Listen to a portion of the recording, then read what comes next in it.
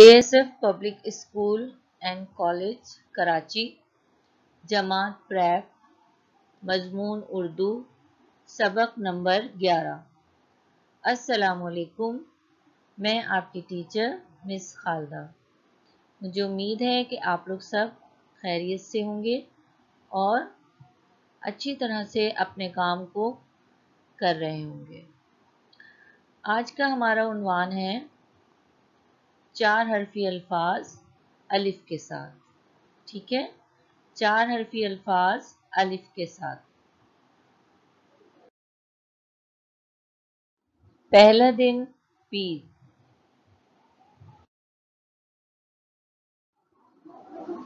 कारवान उर्दू का सफ़ा नंबर तैतीस।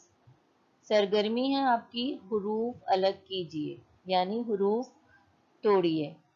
पहला लफ्ज़ है नाना तो इसमें देखें, आपको चार हरूफ नज़र आ रहे हैं।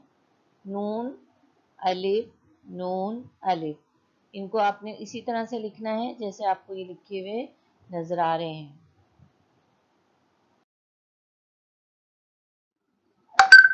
दूसरा दिन, मंगल। कारवान उर्दू का सफ़ा नंबर चौंतीस। मश्क है, चार हरफी अल्फाज।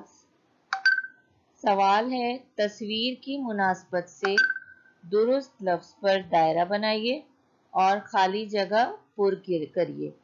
इसमें आपको मुख्तलिफ़ तस्वीर नज़र आ रही हैं और चार हरफी अल्फाज में जो पहला दो हरफी लफ्ज़ है, वो खाली जगह में आपने सही दो हरफी लफ्ज़ को पुर करना है।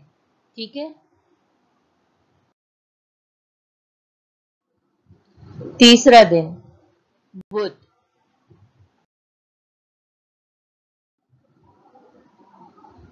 कारवान उर्दू का सफ़ा नंबर 36 सरगर्मी है आपकी। अल्फाज बनाइए, पढ़िए और लिखिए, ठीक है? इसमें आपने चार हरफी अल्फाज की मश्क करनी है।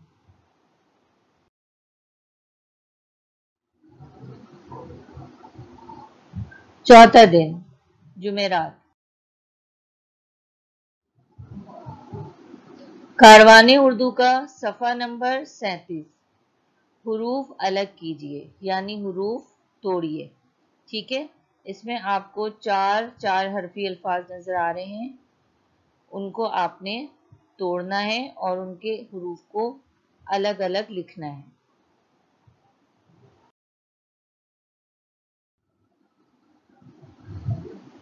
पांचवा दिन जुमा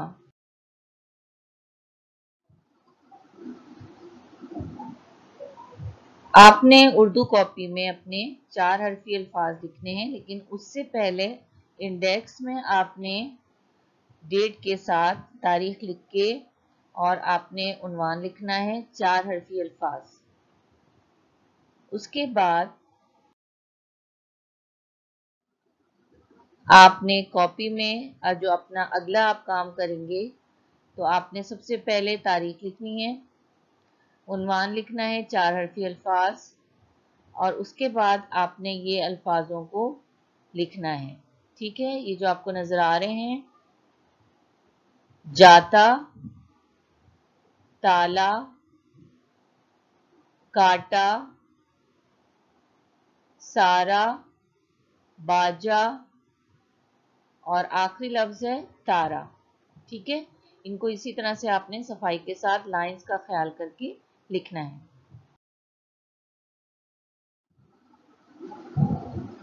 ये है आपका घर का काम, जो अभी आपको सारे सफ़ात बताए गए और समझाए गए एक दफ़ा फिर से मैं दोहरा देती हूँ। कारवानी उर्दू का सफ़ा नंबर तैतीस, चौंतीस, छत्तीस और सैतीस। और उर्दू कॉपी में आपने चार हरफी अल्फाज को लिखना है।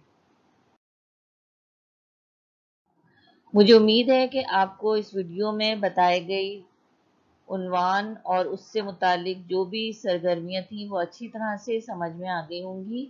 मुझे इजाज़त दीजिए। अल्लाह हाफिज़।